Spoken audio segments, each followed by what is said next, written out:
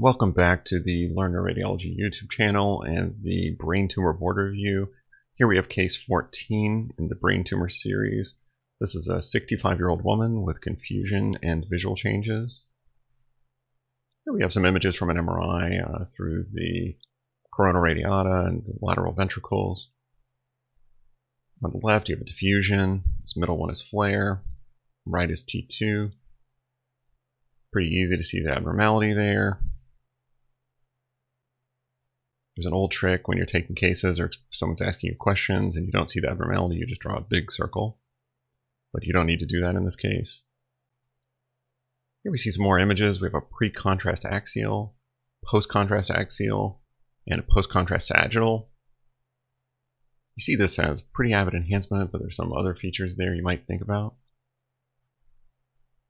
So your question is, what's your top three differential considerations? So I've been kind of nice not making you come up with an exact diagnosis here, but you should be able to come up with at least three kind of things that you might be thinking about. Your second question is, what is the current preferred name for hemangiopericytoma? So the name of hemangiopericytoma has changed in recent nomenclature. This is a gliosarcoma, meningoepithelioma, dysplastic gangliocytoma, or solitary fibrous tumor. So this is a case of solitary fibrous tumor, and this kind of answers your second question there.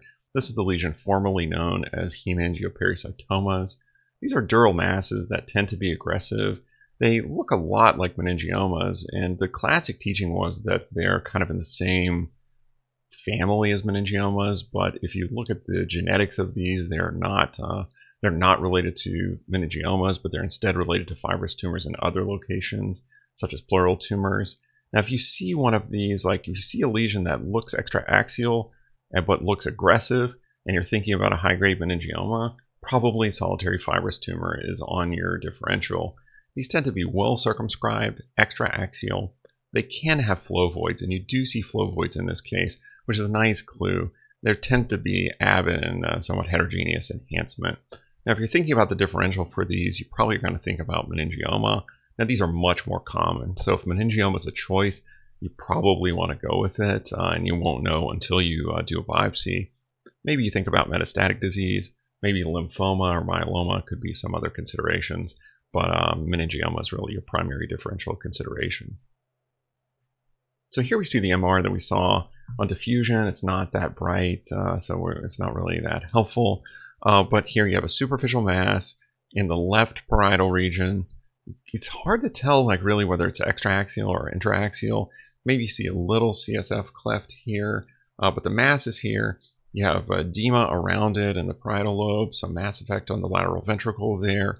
But if you look, you see these dark little spots. Those are flow voids, and so those are areas where you have prominent vessels going through the region.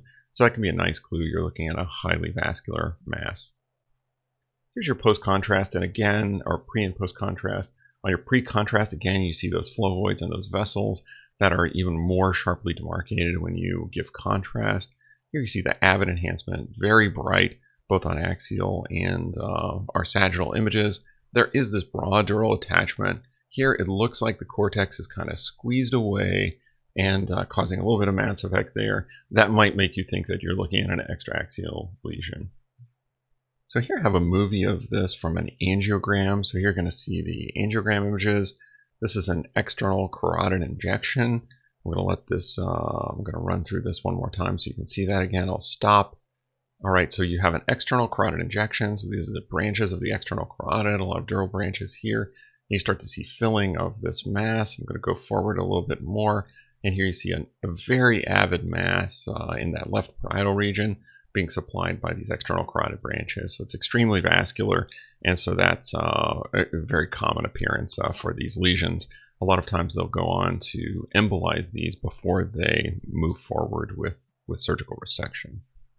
Uh, as I said, the question uh, about what's the preferred name for hemangiopericytoma is solitary fibrous tumor, so just be aware that that nomenclature has changed, so you might see a little bit different uh, nomenclature. So thanks for tuning into this case. Hopefully you learned a little bit about extraaxial lesions and what to include in your differential if you see an, a pretty aggressive looking extraaxial lesion. If you like this video, be sure to hit the like button and subscribe to the rest of the videos. We're going to have more cases coming up this month as you guys get ready for the ABR core exam. Thanks, everyone.